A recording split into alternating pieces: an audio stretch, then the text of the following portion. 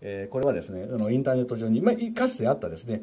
あの新明会図書館情報学用語辞典というあの、えー、慶応大学を去年退退任されたですねあの上田先生という方がお書きになっているあのホームページだったんですけども起用の定義はこういう定義がありました。要するに中身は誰も見ていないということですね、まあ、そういう定義があったんですけども実際にその、まあ、むしろですね起用というのは、まあ、成果以前といいますか短期的創作ということも多かったと思います。でもちろんですねその雑誌論文、まあ、査読誌あの査読がある雑誌論文の場合はそうではありません。けれどもですねやはりいずれにしてもその雑誌を刊行している学会の会員という、まあ、つまりまあ、ほぼ近い同業者というふうに言っていておるんですがいう方々が読者になります。でもちろんこれは競争可能な成果でございますけれども実際にはその、えー、大きな広がりを持たないと。で一方でですね学術書は先ほど先生お話あのされましたようにですね同業者とは異なる人々へ出すものだと。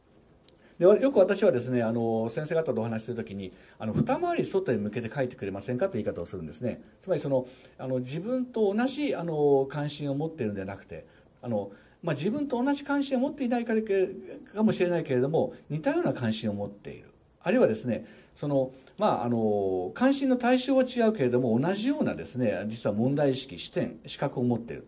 あるいはその方法論が一緒だとかですねいうことで直接対応はしないけれども直接ですねあのは対応は日常的しないけれどもあの本当は、ね、対話可能な人たち。でそういった人たちに向けてですね出してほしいということをよく申し上げるんですが学術書本当にはまあこういうその性格があるということは先ほどあの小田先生がおっしゃった通りです。あのそういう意味では、ね、学位論文とはまさにお師匠さんに書くものですので一番すべては読者の少ない論文だと思うんですけれどもあの本来的にはですね、まあ、それがその実際オープンアクセスされるとこれはあの私全く意味がないことではないと思いますつまりあの文科省が、ね、こういうあの指針を出したことはですね全く意味がないわけではないと。あの例えばえーまあ、ロングテールという言い方あのがありますけれどもこれまでですね、まあ、あの同業者にの間しかそのサーキュレーションできなかったものがですねひょっとすると全然違うあの、まあ、人たちによってですねあの、まあ、あの見つけ、まあ、見出されると。まあ、一種のアクセシビリティとかですねディスカラバリビリティというと思いますけれども例えばその、えー、医学系の今日医学系の先生方多いようですがあのよく有名なのはですねあの 3D ゲーム内で使われるあのモーションキャプチャーという考え方はですねもともとあれあの、えー、筋肉や骨格の動きをあの計測あの経路的に表そうといったいったですねあの、えー、医学系の論文だったりですねそこで使われていたのあの計測方法を使っ、を見てですねたまたま見たその映画業界といいますかあの、えー、ゲーム業界の人たちはこれは使えるぞと。つまりその人間、まあ、アニメをですね人間らしく動くためにこれは非常にあの動かせるためにあの非常にあの使えるということでですね今その、まあ、ほとんど全てのゲームやテレビあの CG に使われるようになったと思いますけれども、まあ、そういう意味でですねある領域の研究がですね他の領域にあのあの見つかりやすくなるという点では意味があると思いますけれどもそれでもですねやはりあの本というものがあのあの持つ役割は変わっていないんじゃないかと思います。で一つはですねやはりあの、まあ、教育的な機能といいますか研究のセンスを磨くという意味ですね、まあ、先ほどあの、えー、国文学会の話をあのの、まあ、嘆きということ 先生の嘆きをあのご紹介しましたけれどもやはりその、まあ、知というのは一種の体系性を常に持っているわけでその体系的総合的な知をですねあの学ぶという点ではやはりそのある種の集積されたですね。それがその体系的に集積されたものをですねやっぱ読まないとわからないと。ある個別の情報だけ取っていてはですねその学問領域全体をつかむことはできないということですね。それからもう一つはですね実はの本というのはあの、まあ、先ほど読者のもあの二回り外という問題ありましたけどもさまざまな形でですね注目をされるということなんですね。あの先ほど小田先生から私どもがですね西洋古典草書というあのじゃあの、えー、シリーズを出しているというご紹介ありましたけれどもこれはあの実はあの始める時にですねこの業界では皆さん反反対多かったんですね。これいつまで続けるのという言い方が多かったです。つまり誰も買わないんじゃなかろうかと。あのいう言い方なんですね。つい最近も三通書房というところの編集長とあの、まあ、2年ぐらいほど前にですねあるあの席あの研究会の席に同席した時にですねあのあれは大変でしょうって話になったんですね。で私そのまあ、あの何部ぐらい売れてると思いますかと聞いたら大体700800だというふうにねあの言われましたけどもあの私はその時ね定期読者だけで700800いるんですよと。つまりその毎回毎回配本される方だあののを待つ方だけでですね700人800人いますと。で実際には2000部あのもう多いものは5000部ぐらい売れてますよと話をすると非常に驚かれたんですが実は本というのはですねそういう力があります。つまりあの読書人っていうふうにここに書きましたけれどもあの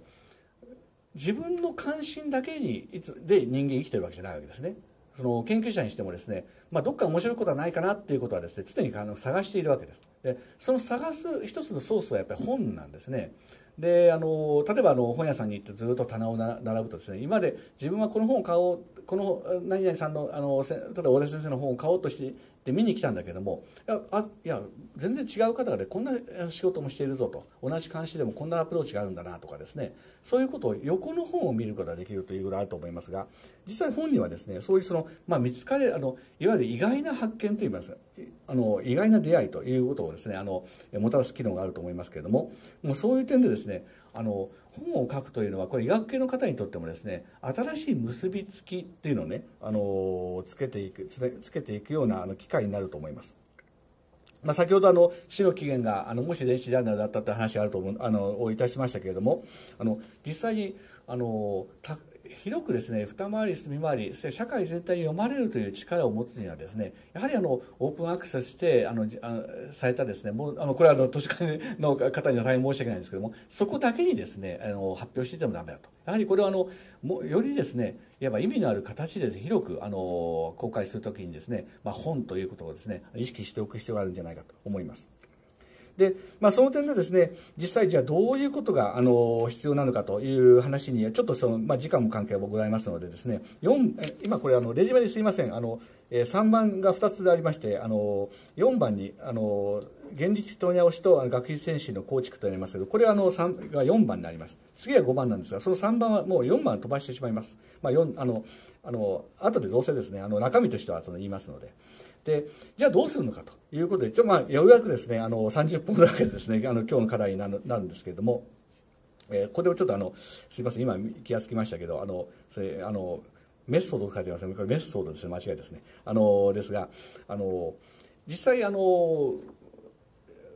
先ほど先生おっしゃったようにですね若手研究若手のですねあの研究者の論文が非常に増えてきたとあのいうことで私どももですねあのそういった研究にあの接することが多くなりました。特にですね京都大学ではあの 3, 3年ほど前からですね40歳以下の若手のですねあの研究者のあのモノグラフをですねあの積極的に本人をしていくとあの優れた作品をですねいうことであの装置を裁量経費という形でですね予算も執行されるようになりました。でそれについてであのそのあの制度とともにですね私どもの方に、まあ、年間十数冊のですね、まあ、新しいそういうあの、まあ、あの原稿が寄せられるようになったんですけどもそれを拝見していきますとですね、まあ、ほぼ同じような問題があるんじゃないかなと、まあ、問題といったら大変失礼ですがあの特徴があるんじゃないかなというふうに思いました。